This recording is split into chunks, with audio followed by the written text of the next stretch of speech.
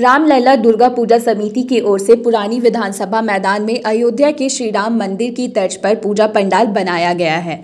इस पूजा पंडाल का झारखंड के राज्यपाल संतोष गंगवार ने आज शनिवार को उद्घाटन किया।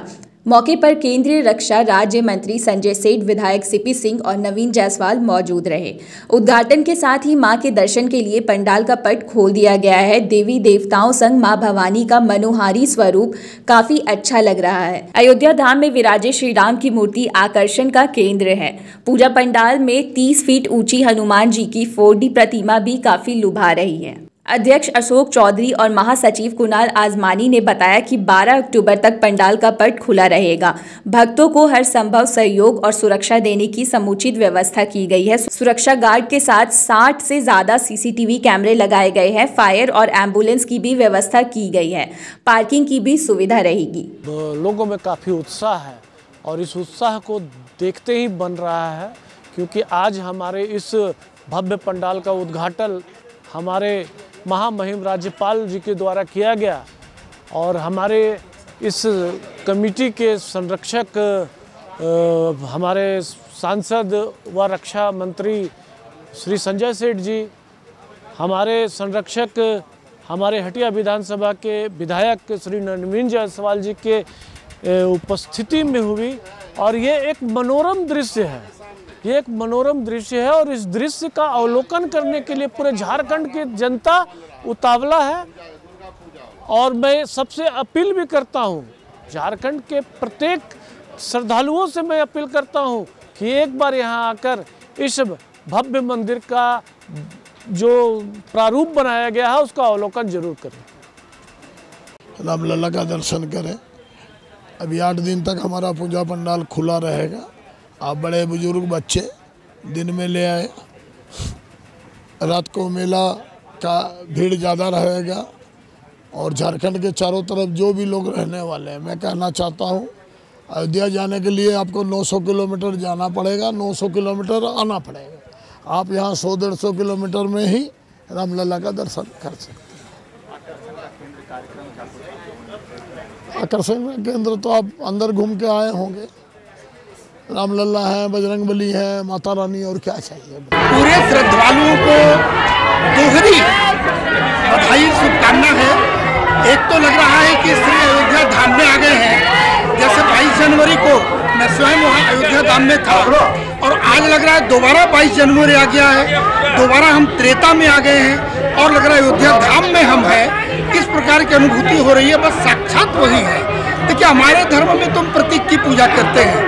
माता को किसी ने देखा नहीं है, श्री राम को कोई देखा नहीं है उनके प्रत्येक मान के हम उनके विग्रह की पूजा करते हैं।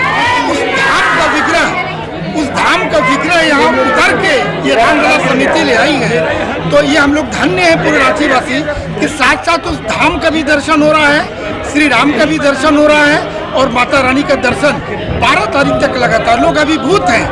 आज से ही लग रहा है कि इतने अंदर डूब गए हैं कि लोग अपनी अभिव्यक्ति नहीं दे पा रहे हैं, वो रोमांचित हैं। तो फिर से बधाई, नवरात्रि की भी, और अयोध्या धाम में आपको पधारने की भी धाम है जो लोग अयोध्या नहीं जा पाए, वो लोग यहाँ दर्शन करके अपने आप को तृप्त कर रहे हैं। श्री राम जी है। सतयुग आज अयोध्या में भी श्री राम मंदिर बनने में पाँच सौ साल लगा। कई विघ्न बाधाएँ आए पर श्री राम जी विराजमान हुए। ये सब हम भक्तों की आस्था है और श्री राम जी की लीला है और जिस तरह शहरवासियों का, शहर के प्रमुख जनों का हमें साथ मिला। 500 वर्षों के संघर्ष के बाद अयोध्या में 22 जनवरी को श्री राम लला विराजमान हुए और उसमें लाखों के संख्या में लोग भगवान राम का दर्शन किए। उसी के अनुरूप दुर्गा पूजा के अवसर पर श्री राम लला पूजा समिति के माध्यम से हम लोग विधानसभा के बगल में यहाँ भव्य रामलला का मंदिर का प्रतिरूप बनाने का कार्य किया है, जिसमें सामने हमारे रामलला विराजमान हैं और अंदर में माँ दुर्गा विराजमान है। यहाँ के जनता से आग्रह करूँगा भक्तजनों से कि जो अयोध्या नहीं जा पाए हैं, दर्शन कर लें। वो है सो यहाँ आकर श्री राम लला का दर्शन करे और साथ ही साथ राम भक्त हनुमान जी का भी 32 फुट का एक यहाँ मूर्ति आकर्षक का केंद्र है जिसमें थ्री का भी कार्य होगा जो तीन तरफ़ से दिखने का कार्य करेगा।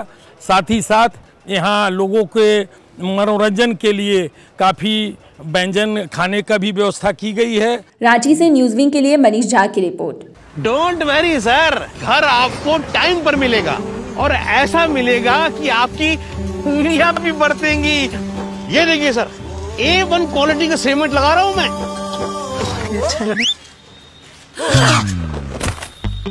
मजबूती का सारा ठेका हम ही लिए हैं का? अरे बॉडी विदाउट स्ट्रॉन्ग बोन किस काम का? देखिए।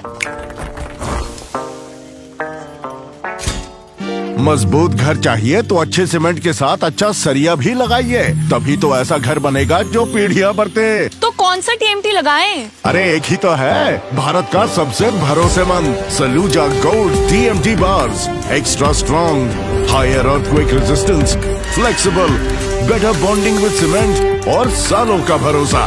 निर्माण में मजबूती चाहिए? तो अच्छे सीमेंट के साथ लगाइए सिर्फ़ सलूजा गोल्ड टीएमटी अब सही पकड़े हो कॉन्ट्रैक्टर बाबू। सलूजा गोल्ड टीएमटी बार मजबूती सब कुछ है।